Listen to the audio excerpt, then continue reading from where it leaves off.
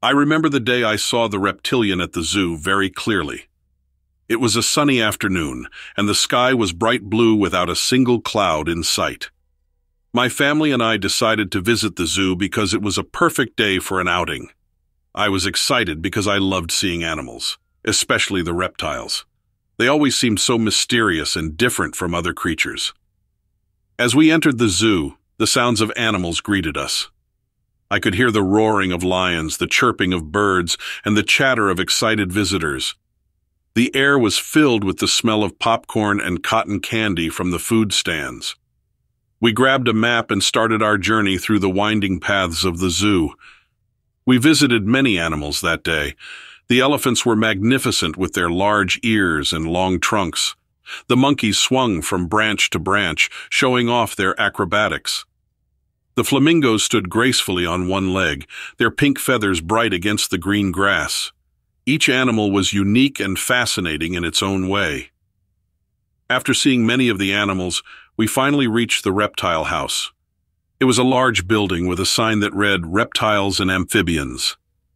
I felt a shiver of excitement as we walked inside.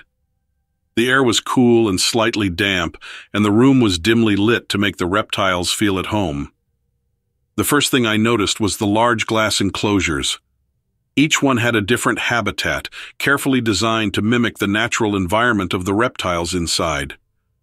There were snakes coiled around branches, lizards basking under heat lamps, and turtles slowly making their way through water-filled tanks. I was in awe of the variety of reptiles on display. As we moved from one enclosure to another, I saw something that made me stop in my tracks. In one of the enclosures, there was a creature that looked unlike any reptile I had ever seen. It had the body of a lizard, but stood upright like a human. Its skin was green and scaly, shimmering under the light. Its eyes were large and almond-shaped, with vertical pupils that seemed to watch every move we made. I couldn't take my eyes off the creature. It was unlike any animal I had ever seen before. It moved gracefully, almost like it was floating. Its long, slender fingers ended in sharp claws that tapped lightly against the glass. I felt a strange mix of fascination and unease as I watched it. I read the sign next to the enclosure, but it didn't provide much information. It only said, unknown species. I wondered where this creature had come from and how it had ended up in the zoo. It seemed so out of place among the other reptiles. I stood there for a long time, watching the reptilian, it seemed to be watching me, too. I felt a connection like it was trying to tell me something. Its eyes were so expressive, almost human-like in their intensity. I imagined what it would be like to be in its world, to see things from its perspective. Eventually, my family called me to move on. Reluctantly, I left the reptilian behind, but it stayed in my mind for the rest of the day. Even as we visited the rest of the animals, I couldn't stop thinking about it. I wondered if anyone else had noticed how special it was. That night, as I lay in bed, I couldn't sleep. I kept thinking about the reptilian and the way it had looked at me. I felt like I had witnessed something extraordinary, something that few people ever get to see. I wondered if the zookeepers knew more about it than they were letting on. Maybe it was a secret, something they didn't want the public to know about. The next morning I decided to do some research. I looked up information about reptilians and unknown species, but I couldn't find anything that matched what I had seen. It was as if the creature didn't exist. This only made me more curious. I wanted to learn everything I could about it. Over the next few weeks, I visited the zoo several more times. Each time I spent hours in the reptile house watching the reptilian. I took notes on its behavior, trying to understand more about it. I noticed that it was very intelligent, more so than any other reptile I had seen. It seemed to recognize me, reacting differently when I approached its enclosure. I started to wonder if the reptilian was trying to communicate with me. It often tapped its claws against the glass in a rhythmic pattern, almost like it was forming words. I tried to tap back, mimicking its patterns, but I wasn't sure if I was doing it right. One day, as I was watching the reptilian, a zookeeper approached me. He was an older man with a kind face and a gentle smile. He asked if I had any questions about the reptiles. I hesitated for a moment, then decided to ask him about the reptilian. To my surprise, he seemed genuinely interested in my observations. He explained that the reptilian had been found in a remote part of the world, in a place where no humans had ever been before. It was the only one of its kind they had ever seen. The zookeepers were still studying it, trying to learn more about its species and where it had come from.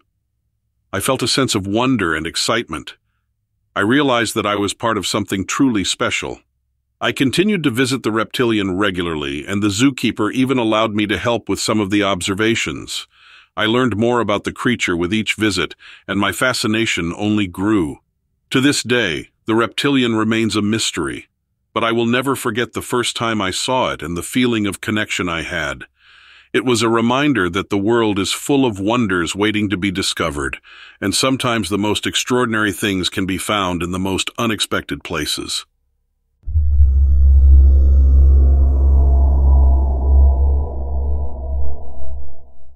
In the town where I grew up, nestled in the shadow of the dense forest, legends were as thick as the fog that rolled in at dusk.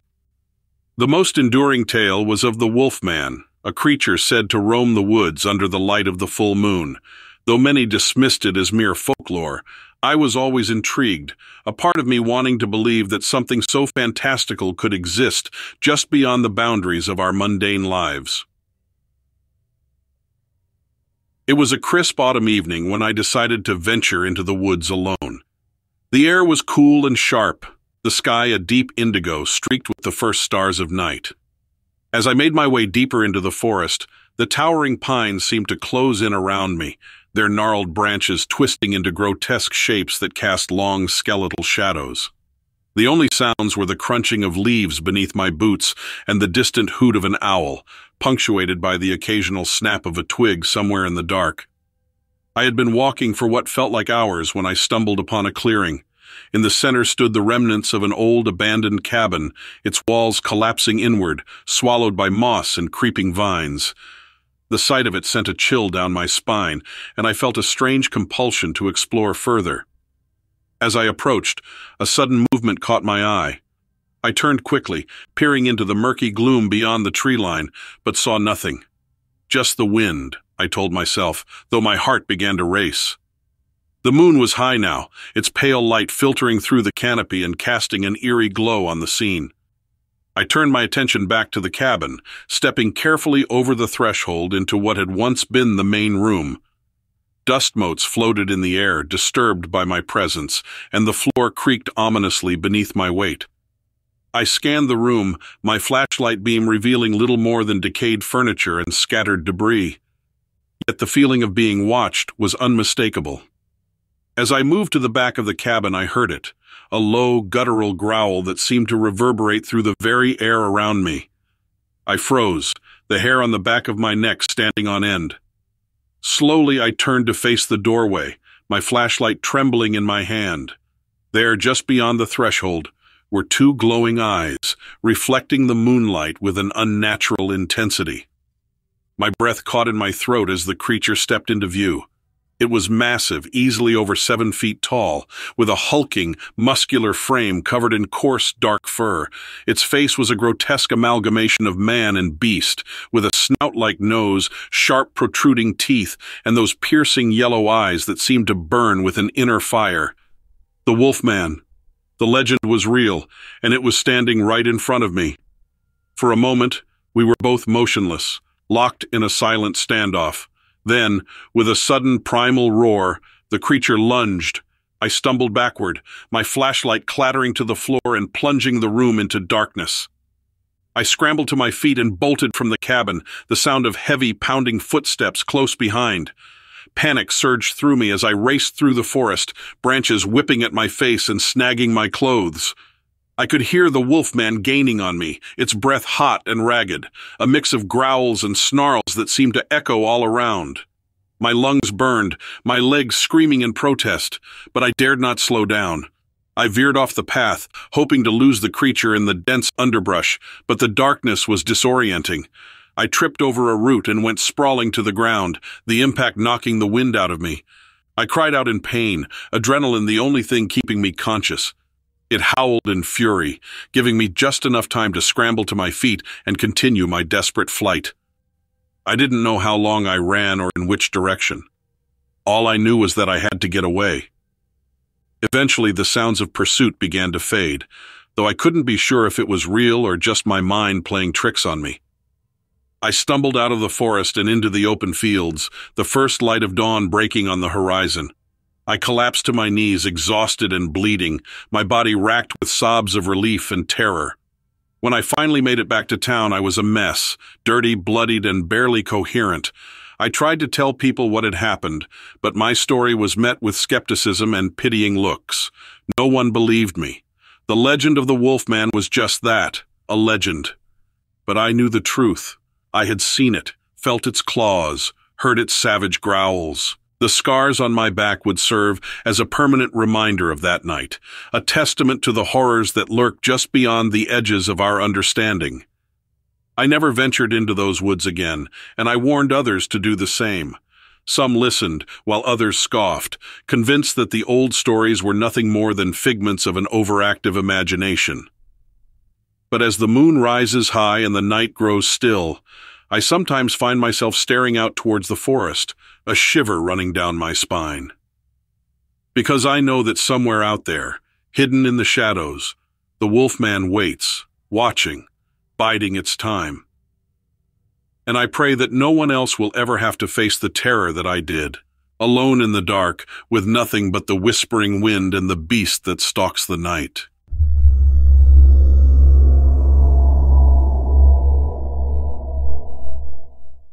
The rain had finally ceased after what seemed like an eternity. It was one of those storms that made you question the strength of your own roof and the durability of the walls that surrounded you. For hours, the sky had been an unrelenting torrent of water, a curtain that separated the world into a cacophony of nature's fury and the silent, anxious waiting inside. As the last drops fell, I decided to venture out, drawn by the smell of the earth and the sight of the world reborn under a fresh coat of rain. The river that bordered our small village was now swollen and ferocious, its usual gentle murmur transformed into a wild roar. Trees and shrubs on its banks bent low, their branches laden with rainwater. As I walked closer, the air was thick with the scent of wet foliage and the distant sound of water rushing, merging into a symphony that felt both chaotic and oddly serene. I followed the path along the river, my boots squelching in the mud, eyes scanning the landscape for any changes brought by the storm. The water level had risen significantly, and I noticed small creatures, frogs, insects, even the occasional snake, displaced by the floodwaters, now seeking refuge on higher ground. It was as if the whole ecosystem had been upended, each living thing caught in a desperate scramble to adapt to the new reality. It was then that I saw it, a glimmer under the water, something that shimmered and moved in a way that was neither fish nor debris. I squinted, trying to make out the shape beneath the churning surface. As I stepped closer, the water seemed to pulse and breathe, the shimmer becoming clearer, more defined. My heart quickened, and I felt a mix of fear and curiosity grip me. The creature surfaced slowly, almost lazily, as if aware of my presence and unbothered by it. It was unlike anything I had ever seen, and yet in the recesses of my mind I knew what it was. The Mamlambo. The stories of this river-dwelling entity had been whispered in our village for generations. A half-serpent, half-horse creature that was as beautiful as it was deadly, a guardian and a predator. I had always dismissed the tales as mere folklore, a way for the elders to keep us children away from the river's edge. But here it was in the flesh, or scales, before me, its head was sleek, almost serpentine, with eyes that glowed an eerie green, catching the light even in the dim post-storm haze. The body was elongated and muscular, scales reflecting the wetness of its surroundings, a tapestry of greens and golds that seemed to ripple with the movement of the water. It was mesmerizing, a blend of grace and raw power, and I couldn't tear my eyes away. The Mamlambo floated closer to the surface, and I could see the delicate fin-like structures along its spine, undulating softly with the current. There was an intelligence in its eyes, a recognition that sent a shiver down my spine. It was as if the creature was assessing me, determining whether I was a threat, a curiosity, or perhaps something more. I felt a strange connection, an understanding that I was witnessing something ancient, something that belonged to a time long before humans had laid claim to the land. As I stood there, rooted to the spot, the Mamlambo began to circle, creating a gentle whirlpool in the water. The motion was hypnotic, drawing me into a trance-like state. The stories I had heard spoke of the Mamlambo's ability to lure its victims with its beauty and then drag them to the depths. But in that moment, I felt no fear, only a profound sense of awe and reverence. The creature's movements were fluid, almost dance-like, and I watched, entranced as it continued its display. It was then that I noticed the small objects caught in the whirlpool, shimmering stones, fragments of shells and bits of debris, all swirling around the Mamlambo in a chaotic dance. Each piece seemed to catch the light in a different way, creating a kaleidoscope of colors that mirrored the creature's own iridescence. I felt an urge to reach out, to touch the water, to connect with this enigmatic being. My hand hovered above the surface, the tips of my fingers brushing the cold, turbulent water. The Mamlambo paused, its eyes locking onto mine, and for a moment time seemed to stand still. There was a depth to its gaze, a silent communication that transcended words. I felt as if the creature was inviting me to join it, to experience its world, if only for a brief moment. As I lowered my hand into the water, the Mamlambo swam closer, its scales brushing against my skin. The sensation was electric, a jolt that traveled up my arm and into my very core. I could feel the power and the ancient wisdom of the creature, a connection that defied explanation. It was as if the Mamlambo was sharing its essence with me, allowing me a glimpse into the mysteries of its existence.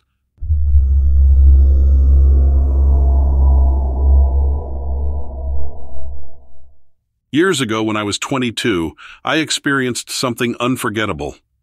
I was driving back to my home in Connecticut from a visit to Vermont and had left later in the evening, just as the sun was setting. The drive was about three hours long, and my radio wasn't working, making me dread the quiet journey ahead. I had been driving for about 30 minutes when I saw a woman on the side of the road, narrowly missed by the car in front of me. An instinct urged me to stop and check if she needed help. I pulled over and approached her cautiously. I asked if she was all right and if she needed a ride. She nodded and got into the passenger seat. In a way, I was relieved to have company for the long drive to break the monotony. I glanced around before getting back into the car and driving off. We made small talk, and she began to open up. I noticed she had an accent, suggesting she wasn't from around the area. In the dim light, I hadn't paid attention to her clothes. They looked like something from another era, like an old-fashioned undergarment dress. I jokingly asked, Do you work at a place where you have to dress like it's the olden days? She gave me a puzzled look and turned her gaze back to the road. I shrugged it off, thinking she might just be tired or not in the mood for jokes. I pointed to my broken radio and apologized for the lack of music. Out of the corner of my eye, I saw her mouthing something, and miraculously, the radio turned on. I gasped, Wow, you got it to work. She frowned and tilted her head, asking, This thing is a radio? I nodded and she examined it like it was the first time she'd seen one. You've never seen a radio before? I asked. She shook her head and said, I've only heard music in church. Given her attire and her unfamiliarity with modern technology, I started to suspect she might be Amish. Well, you can use this dial to search for different stations, I explained. For some reason, all we got was static. Sorry about that. I guess it's still broken, I said. As we drove further, I noticed a light in the distance. As we approached, it became clearer. A man was standing in the middle of the road with a torch. I thought to myself, what is this guy doing? That's dangerous. I slowed down and stopped the car about 100 feet from him. I looked at the woman, and her face turned pale. It seemed clear that this was the person she was running from. I whispered to her that I would drive around him quickly, but it might get bumpy. She took a deep breath and sighed. No, it's okay. I need to face this, she said. She got out of the car and walked towards him. I rolled down the window just enough to hear them. Suddenly she shouted, I've done nothing wrong. You have no reason to accuse me of being a witch. She raised her arms, yelling with all her might.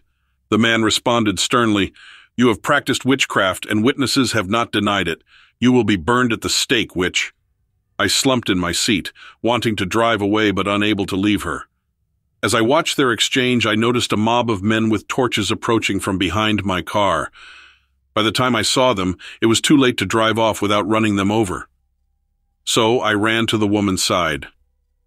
Confused by their exchange, but certain of the danger, I took her hand, and we ran into the forest. We ran for what felt like ten minutes before ducking behind a sturdy tree. We caught our breath, listening for any signs of pursuit. She could tell by my expression that I sensed something was off. If I told you I was a witch, would you fear me? She asked. I paused, still catching my breath. You haven't shown me you're a threat, so no, I replied. If you're a witch, you're not from these times, are you? I asked. She grew quiet and nodded. I'm not living nor dead. Salem was once my home, but it was all taken from me, she said. She explained that she was a witch, but not evil. The man on the road was once her fiancé, but she refused to marry him.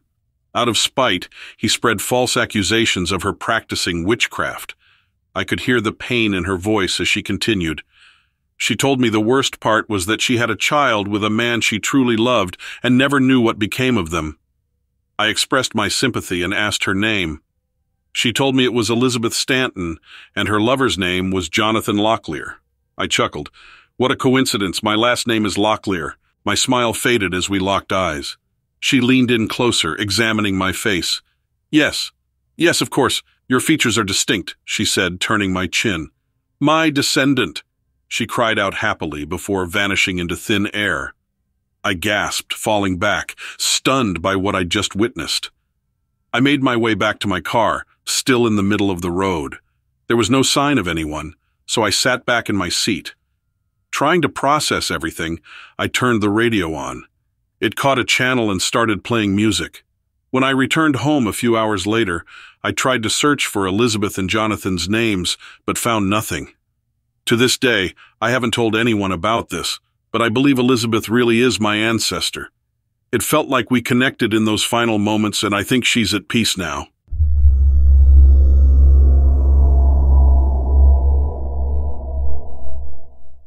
For the past 20 years, I've loved being a ranger. Now I'm preparing to retire because my dad needs help on his farm in Colorado as he's getting older. Listening to your channel these past few months has made me reflect on some interesting experiences I've had. My job has taken me all over the country. Years ago, I was working at Santa Rosa Lake State Park in New Mexico. My parents used to visit and camp there in the late fall when the farm wasn't as demanding. My dad enjoyed fishing for walleye in the lake. Despite the cold, the area was peaceful and quiet during that time of year. My mom, on the other hand, would get a bit bored. She really wanted to visit Carlsbad Caverns, about four hours south. Since I had a couple of days off and had never been there, we decided to make the trip together. We didn't leave until late afternoon because I had to handle a plumbing issue at the park. On our way, we stopped in Roswell for food, taking time to explore the alien novelty shops and snapping goofy pictures around town. We had dinner at a UFO-themed diner, which felt like a nostalgic road trip from my childhood. By the time we left Roswell, it was about 9 o'clock. We still had about an hour and a half to drive to our hotel. If you've ever been to Arizona or New Mexico, you know about the endless desert roads. It felt like we were out there alone, with the road stretching out in the dark, barely any cars in sight. Around 10 o'clock, about an hour outside of Roswell, my dad pointed out something unusual in the sky. There were two incredibly bright lights, bigger than airplane lights, directly ahead of us. They weren't planes or helicopters, but seemed to be chasing each other in the sky, moving up, down, back and forth, and turning on a dime. They even stopped and reversed direction in an instant, like dragonflies. We were all mesmerized. Being near Roswell made it seem almost cliche. I pulled over and we watched in amazement, half expecting it to be some sort of joke. After a few minutes, we continued our journey. Then the second incident happened. Out of nowhere, our tire just popped. It wasn't just a blown tire, we heard a loud bang and saw sparks. The tire was shredded, scattered along 50 feet of the road. My dad, usually composed, looked visibly shaken. As we inspected the damage, lightning strikes suddenly appeared in the sky. Thunderclouds had formed, and the two bright lights were moving behind them, descending toward us. As they got closer, they cast a strange blue glow over everything. I seriously thought aliens were invading. Within minutes, the light swept past us and disappeared toward the north. The clouds vanished, revealing the usual stars. We changed the tire in record time and were relieved to reach our hotel. We searched for any news of strange weather or events, but found nothing. We were just glad to have experienced it together. Carlsbad Caverns were spectacular, with incredible formations and an unreal echo. The effort to make the park accessible was impressive, and we spent more time there than expected. I didn't get hired at Carlsbad, but I was glad to return to my familiar territory. That trip felt surreal, and my parents still get weirded out when we talk about it. It was absolutely wild,